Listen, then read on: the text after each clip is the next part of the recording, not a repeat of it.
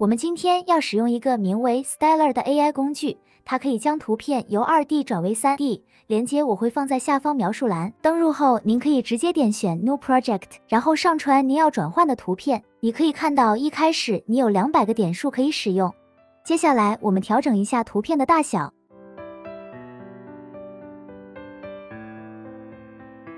然后我们点选 Image to Image。您可以在 Prompt 栏位中输入您的提示字，或是点选右上角的图示，让它为您自动产生提示字。提示字产生之后，您可以检查一下是否与图案相符。如果不满意，您可以再按一下图示按钮，重新产生提示字。其实它产生的提示正确度还是挺高的。你还可以选择图案与现有图像的匹配程度。让我们直接推到底，然后点击 Stylize，这里产生了四张图。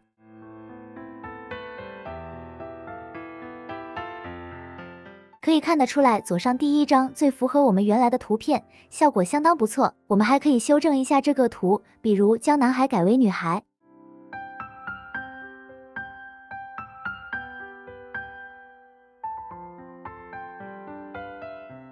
同样选择满意的图，点一下，它就会出现在下方 Stage Area 中。若是点击下方 Place on Canvas 按钮，您所选的图案则会出现在画布中。您可以看到上方的硬币，随着我们产生图片会逐渐扣除点数。您可以按右上方的 Export 按钮导出您的图片。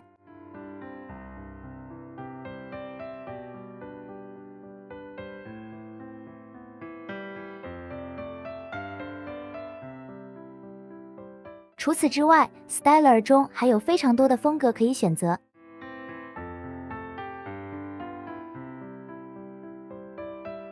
您可以一个一个试试看。这是羊毛毡风格，不得不说效果是真的很好。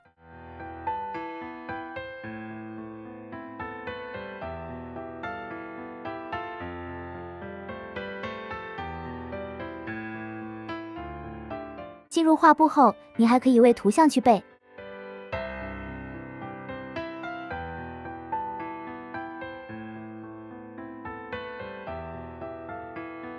下载图片时，您可以选择下载所有图层。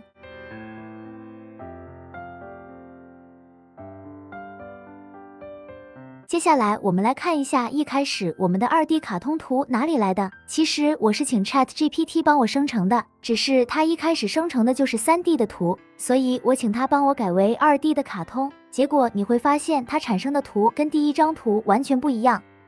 所以我附上第一张图，请他用这一张图来改为二 D 的卡通，结果差异还是很大。接下来我提醒他不要改变前景的卡通和背景，纯粹将三 D 改成二 D 平面作品，这样我们才得到比较接近原画作的二 D 图片。从这里你也可以看出来，Styler 在使用上的方便之处。这里的 Chat GPT 四是付费使用的，不过不用担心，您还是有免费的选项。您可以使用 Microsoft 影像建立工具，同样连接我会放在下方描述栏。您可以使用 Microsoft 账号登录，进入网站后，你可以发现里面已经有许多漂亮的图。您可以将游标移到图片上，你会发现图片像会出现这个图片所用的提示。